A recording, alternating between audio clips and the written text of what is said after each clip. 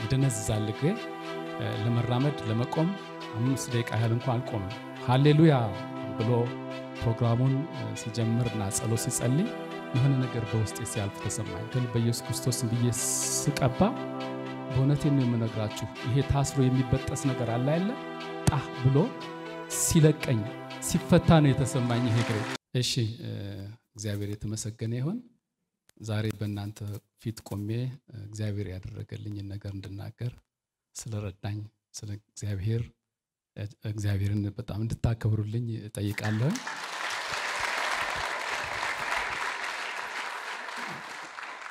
ክብር ለኢየሱስ ይሁን። እግዚአብሔር ይመስገን። እኔ ስሜ አበባው እባላለሁኝ። የመጣሁት ይኸው ከአየር ጤና አካባቢ ነው። ወደዚች አጥቢያ ለመጀመሪያ ጊዜ የመጣሁት በ2011 ዓመተ ምህረት ነው እና ስመጣ ባለቤቴን ይዤ ነው ወደዚህ የመጣሁኝ።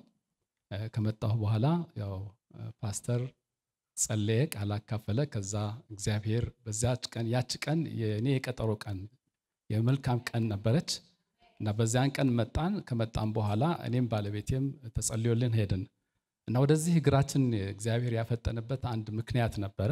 ያንን ለመዘርዘር በጣም ጊዜም ስለማይኖረኝ በሌላ ጊዜ አደርገዋለሁ እና ወጠን ሄድን። ከዛ ጊዜ ጀምሮ ባለቤቴ ከዚህ ቤተ ክርስቲያን ንቅንቅ አልልም አለች። በቃ እግዚአብሔር በቤቱ ተክሎ የሚያለመልም አምላክ ነው። እዚህ ነው የምታገለግለው። በጣም ትልቅ ለውጥ ነው ያለ በእሷ ውስጥ። ስለዚህ የእሷን መለወጥ አይተን የእሷ እዚህ መኖር እንዲያውም ለእኛ ለቤተሰባችን ሁሉ በረከት ሆኖልናል። ክብር ለኢየሱስ ይሁን።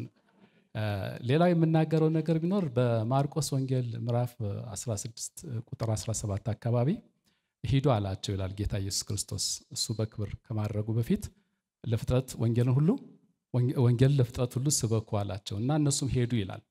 ከሄዱ በኋላ ግን ወንጌልን ሰበኩ፣ ጌታም ከነሱ ጋር ይሰራ ነበረ፣ በሚከተሉት ምልክቶች ቃሉን ያጸና ነበር ይላል። እኔ ፓስተር ተስፋውን እና ቤተሰቡ ጌታ ከነሱ ጋር አለ ብዬ ነው ማምነው። ኢየሱስ ክርስቶስ ከነሱ ጋር እየሰራ ያለበት ዘመን ውስጥ ያለ ነው። አገልጋዮቹን ያውቃል፣ የሚላኩትን ያውቃል። ሂዱ አላቸው፣ ሄዱ። ጌታም ከነሱ ጋር ይሰራ ነበረ።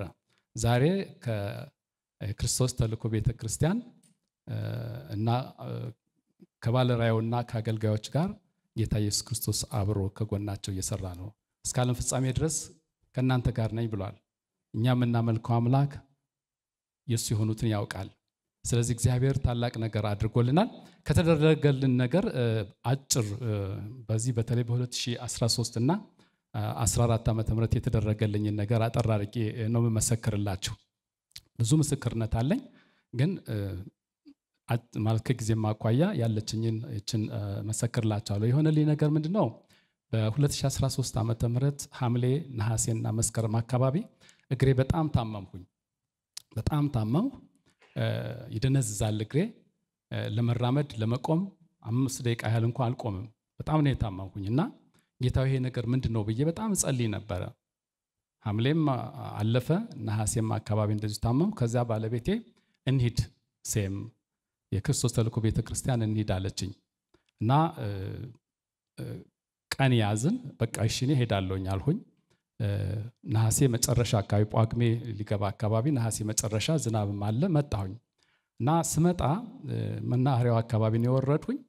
ቢያንስ ሁለት ጊዜ ሶስት ጊዜ ተቀምጫለሁ እዚህ ለመድረስ። ለመሄድ በጣም ነው የምቸገረው። ህመሙ ያለው ህመም እንደዚህ ቀላል ነው፣ በቃ በጣም ከባድ ነው እና ቀመጣለሁኝ፣ እነሳለሁ። እግሬን በጣም አሽቼ ነው የምነሳው።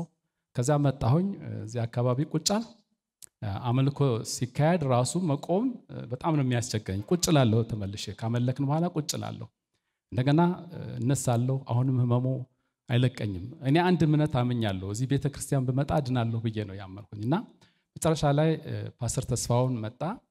ከመጣ በኋላ ወደ መድረክ ወጥቶ ሃሌሉያ ብሎ ፕሮግራሙን ሲጀምርና ጸሎት ሲጸልይ የሆነ ነገር በውስጤ ሲያልፍ ተሰማኝ። በጣም ነው የሚገርመው።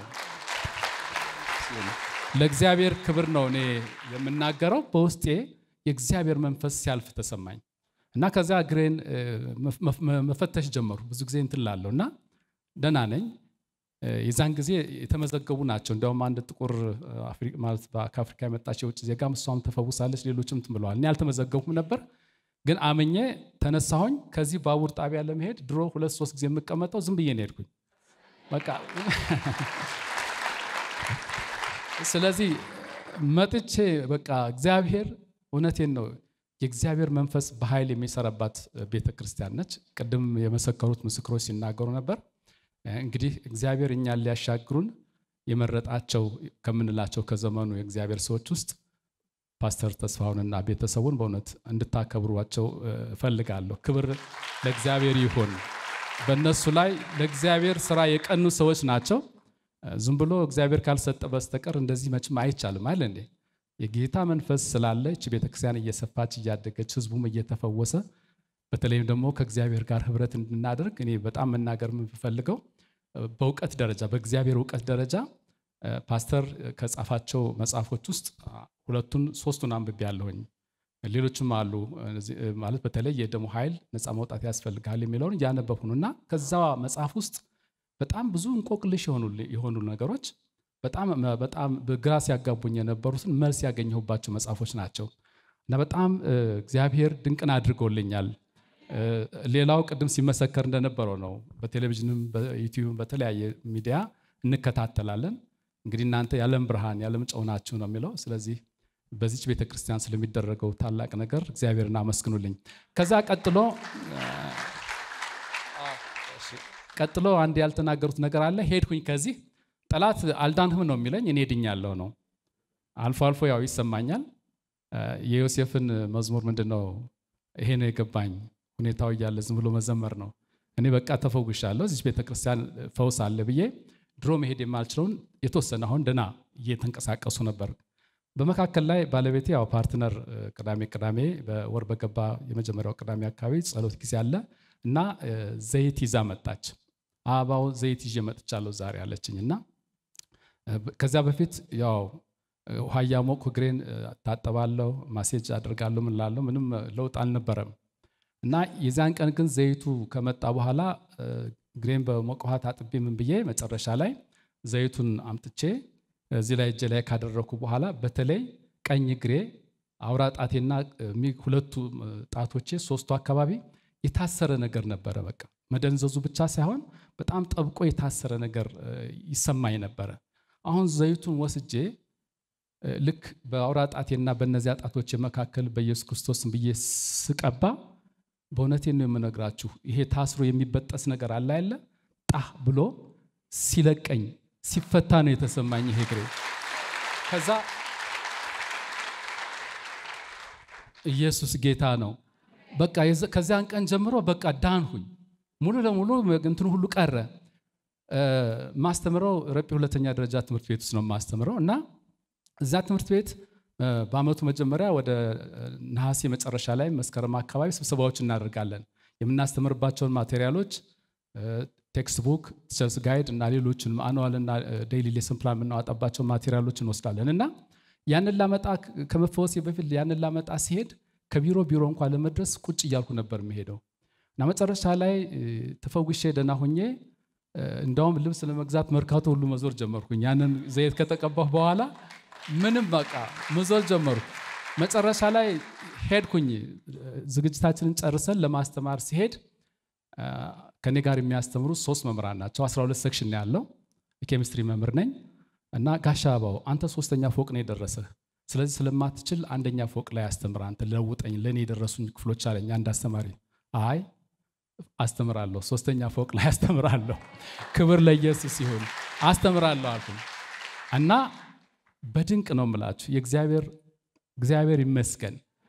የጌታ መንፈስ እውነቴን ነው እንግዲህ በባሪያዎቹ ተጠቅሞ እግዚአብሔር ድንቅን አድርጎልኛል። እንግዲህ የነካኝ የእግዚአብሔር መንፈስ ነው። ድኖ ቀረ። ሶስተኛ ፎቅ ላይ እየወጣሁ እየወረድኩኝ አስተማርኩኝ። አመቱን በሙሉ እንዲያውም ሰባት ዓመት አስተምሬያለሁ። ከ2008 ዓመተ ምህረት ጀምሮ እዚያ ትምህርት ቤት ነው የማስተምረው። ያለኝ የስራ አፈጻጸም ከሌሎች ዓመቶች የበለጠ ነበር ዘንድሮ። ኢየሱስ ጌታ ነው እና እግዚአብሔር ድንቅን አድርጎልኛል። እግዚአብሔርን አክብሩልኝ። በእውነት ጌታ አብዝቶ ይባርካችሁ።